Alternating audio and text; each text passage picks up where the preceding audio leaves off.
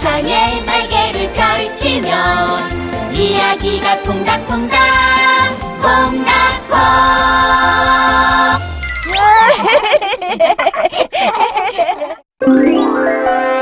동화마을 도착!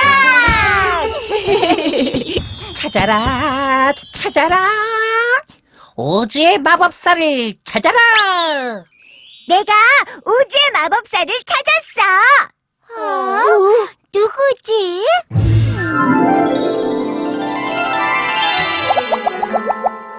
안녕, 난 도로시야. 마법의 나라 우주의 마법사를 찾았어. 그런데 내 소원을 들어줄 수 없대. 어? 왜?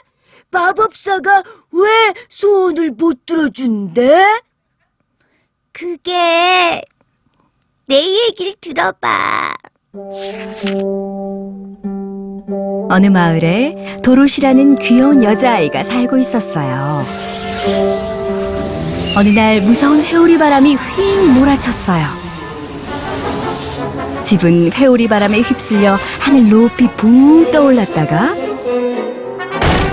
낯선 마을에 쿵 떨어졌어요. 도로시가 뺏고 문을 열고 나오자 고깔 모자를 쓴 할머니가 다가왔어요. 고맙구나. 네 덕분에 못된 동쪽 마녀를 물리쳤단다. 할머니는 오즈라는 마법의 나라에 살고 있는 북쪽 마녀였어요.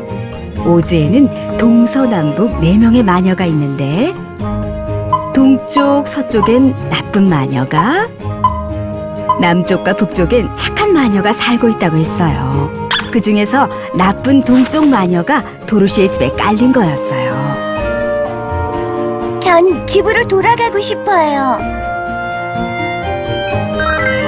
착한 북쪽 마녀는 도로시에게 은구들을 주며 말했어요. 난 네 소원을 들어줄 수가 없단다.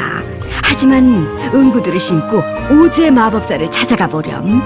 오즈의 마법사는 못하는 게 없거든. 도로시가 따각따각 은구들을 심고 옥수수밭을 지나고 있을 때였어요. 난 머리가 텅텅 빈 허수아비야. 똑똑한 머리를 갖고 싶어.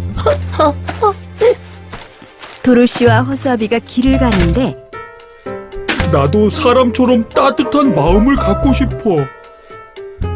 삐걱삐걱 양철 나무꾼도 겁쟁이 사자도 오즈의 마법사를 만나러 함께 길을 나섰죠. 도로시와 친구들은 마침내 마법사가 있는 온통 초록빛인 오즈의 성에 도착했어요. 마법사의 방으로 들어가자 커다란 얼굴을 가진 오즈의 마법사가 나타났어요. 우주의 마법사님, 집으로 돌아가게 해주세요. 서쪽 나라 마녀를 물리치고 오면 소원을 들어주마. 도로시와 친구들은 서쪽 마녀를 물리치러 다시 길을 떠났어요. 이 사실을 안 서쪽 마녀는 날개 달린 원숭이들에게 도로시와 친구들을 잡아오라고 했어요.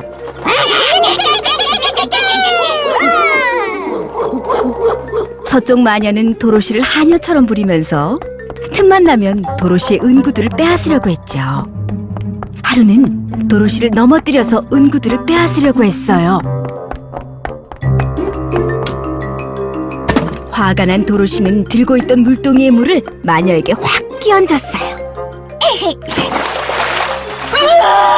난 물에 닿으면 녹아버린다고! 안 돼! 물에 닿으면 녹아버리는 마법에 걸려있던 서쪽 마녀는 흐물흐물 녹아 사라지고 말았어요. 만세! 만세! 서쪽 마녀를 물리쳤네! 도로시와 친구들은 오즈의 마법사에게 달려가 소원을 들어달라고 말했어요. 얘들아, 난 진짜 마법사가 아니란다. 아저씨는 잠시 마법사 흉내를 내고 있던 것 뿐이라고 했어요.